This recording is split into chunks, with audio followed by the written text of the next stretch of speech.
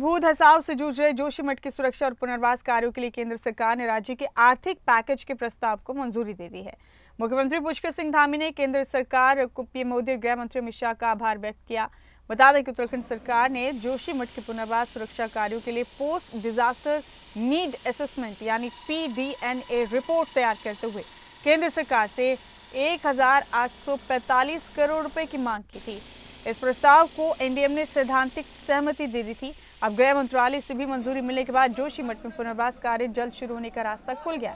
है बीते रोज जोशीमठ को लेकर नई दिल्ली में प्रधानमंत्री कार्यालय में उच्च स्तरीय बैठक हो चुकी है। पीएमओ ने राज्य को जोशीमठ के पुनर्निर्माण, पुनर्वास के लिए तेज़ी से आगे बढ़ने के निर्देश दिए हैं। जोशीमठ में होने वाले कार्यों की निगरानी पीएमओ खुद करेगा। आदरणीय प्रधानमंत्री जी का धन्यवाद करना चाहता हूँ, आदरणीय गृह मंत्री जी का धन्यवाद करना चाहता हूँ। कि जब से जोशीमठ की त्रासदी हुई, जब से ये भूस्खलन हुआ, वहाँ पर आपदा की स्थिति पैदा हुई, लगातार हर बार उन्होंने हमको भरोसा दिया, आश्वासन दिया कि उत्तराखंड की जोशीमठ के लोगों की पूरी मदद की जाएगी।